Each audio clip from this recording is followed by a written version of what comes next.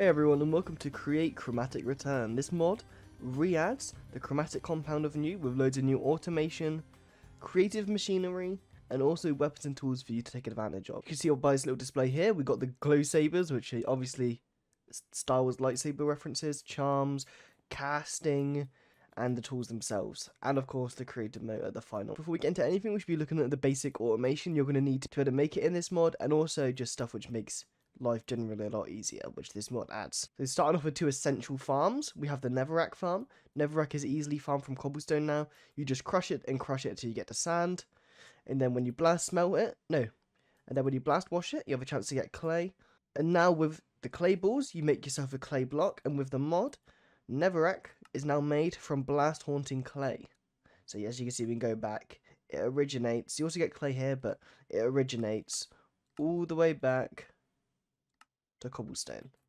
So this is now Netherrack is now fully automated. You also you will you will also really need a lava farm. This is just the vanilla create mod one with lava, dripstone, cauldron. Make it as big as you want. Have fluid pipes coming underneath it so you can pull it all out. And yeah, that's pretty simple. I don't really need to explain that. I don't think. The main reason why you're gonna want to automate Netherrack is so you you can now get cinder flour infinitely. This is good for blaze cakes because you're gonna need a lot of superheated blaze burners. And also you can get redstone dust, gunpowder, and glowstone dust from washing, smelting, and haunting. Really good just for getting bulk redstone or bulk gunpowder or whatever without having to worry about it. It really does help. And also being able to just make that blaze cakes really quickly helps as well, of course. Also, zinc and copper are both now automatable, just like gold and iron are. You can get copper from terracotta, which terracotta, similar to netherrack, you get clay, but you smelt it this time, and then you have a chance to get yourself some terracotta copper from the terracotta. Zinc is automatable just by blast by mixing water with heat underneath it in a basin. You can that means now using this and this, you can get yourself brass automatic by combining these two. And then using your lava farm from earlier, you can pour lava onto the the brass ingot to make yourself a glowing ingot. This glowing ingot is useful for making chromatic compound, which is obviously a very important thing, which has been removed from Minecraft, which is useful for this mod. And also you can use it to automate netherite scrap. The way you make chromatic compound is with polished rose quartz, powdered obsidian, raw nugget, and a glowing ingot in a superheated basin and mixer. You can also actually automate netherite using glowing ingots. It's only a 1% chance, but if you crush a glowing ingot, you have a chance to get yourself a netherite scrap in there as well. And on top of this, loads of other useful automation stuff. It bridges with other add-ons, and also it bridges with Mekanism. If we look at create chromatic return. There's stuff like polonium, plutonium, which are all used which are all used to make mecha suits. So without the um Mekanism generators add-on, you can make mecha suits with this. So if you want like a create X me- uh, Mekanism experience where you could make the mecha suit, this is how you would do it. You would also need a mod like Crafts Addition, which converts rotational energy into Fe to power the few Mekanism machines, but it means you don't need to do the nuclear reactors and all that. The main thing this adds is chromatic compound and three alloys for it. Refined Radiance, Shadow Steel, and the Multiplite Ingot, which is a new one which I've added. There will also be a fourth one, and maybe even more down the road in the next update, but at the moment these are the only three we got. Let's start off with Shadow Steel. It's probably the most diverse of them. It's one of the more simple to make. All you need is to get yourself a wood farm, smelt that to get yourself some charcoal, crush it down to get yourself carbon powder. That's one ingredient done. Cobblestone, blast haunt to get blackstone, polish blackstone, and that's it. That's all you need for shadows. Well, I say that, but the way you make it is a bit complicated. What you also need to know is you're not going to get your shadow steel just from doing this. There is a process you have to go through. So we've got ourselves the blackstone and the carbon powder. If we fill it with lava from the lava farm we I told you guys you need to make, chuck the carbon or an input, input, mix it up. As you can see, it's making ourselves shadow essence. Now with this, this is where you can make shadow steel, because what you're going to need is you're going to need 16 chromatic compound for one shadow steel, as well as a 1000 millibuckets. Right now we're on 400 as you can see on Jade. So what we're going to want to do is just, for the sake of this one, I'll show you how it's done. For the other, for the other alloys, I'm not going to bother.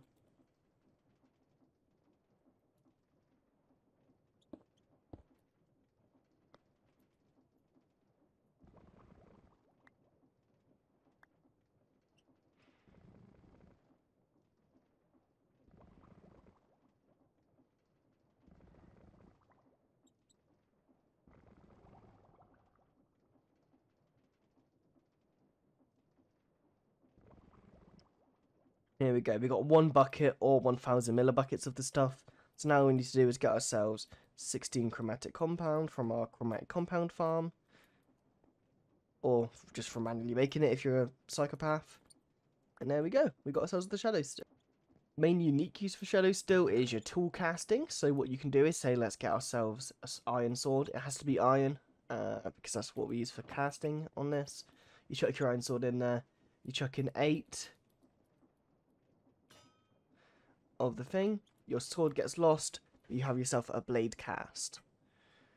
So now if we were to chuck the blade cast back in, and then chuck ourselves a shadow steel, you keep the blade cast, but you get yourself a shadow steel blade. This is an ingredient to make shadow steel swords, which you can use with different handles and stuff to switch them out. I'll show you the... Say we want to make ourselves a handle now. So we need to firstly make the cast. So you chuck in 8, but we'll just do the stack because I can't be bothered. You have yourself the handle cast. And now our choice at the moment is refined radiance or multiplite.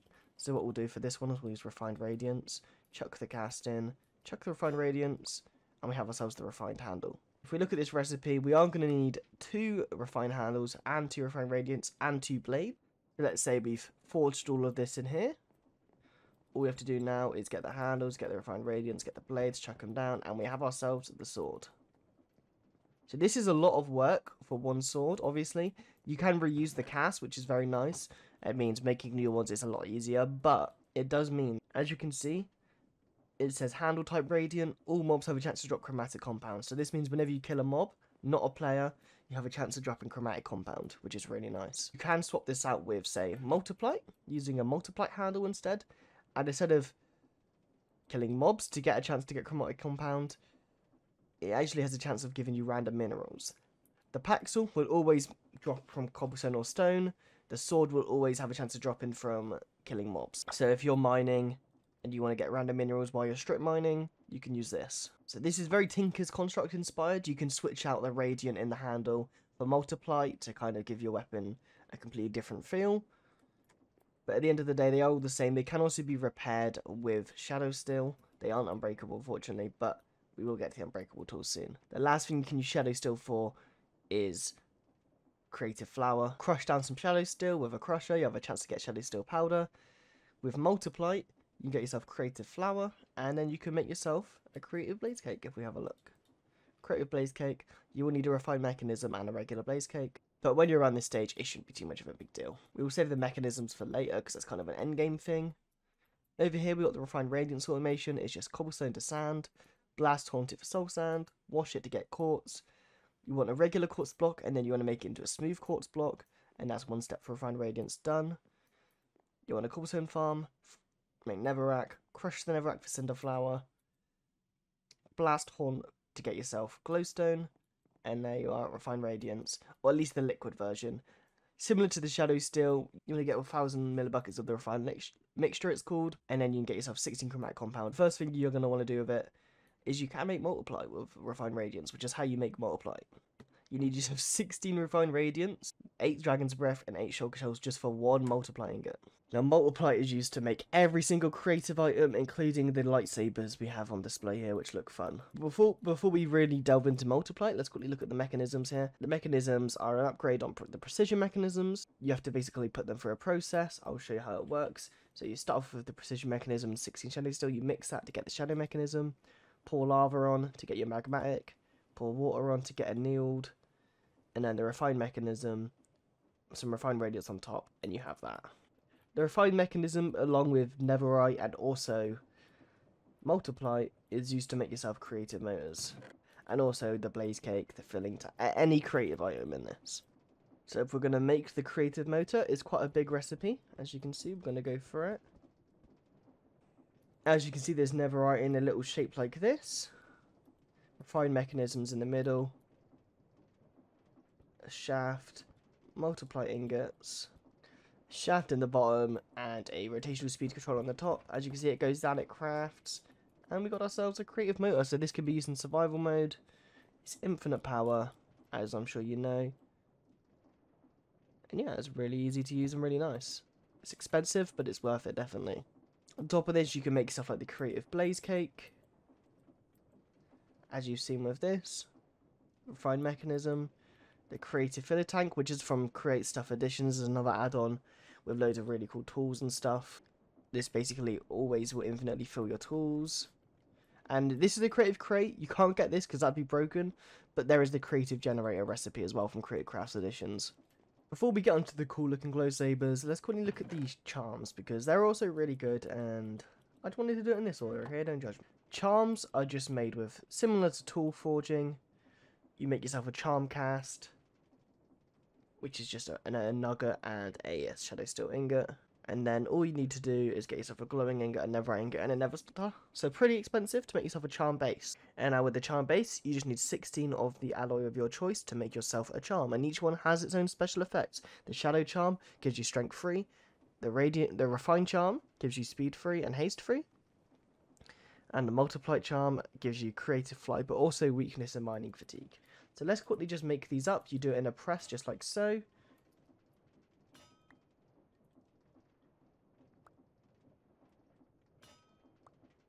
And now we got these charms. All you got to do is put it in your offhand slot. We will go into survival for this.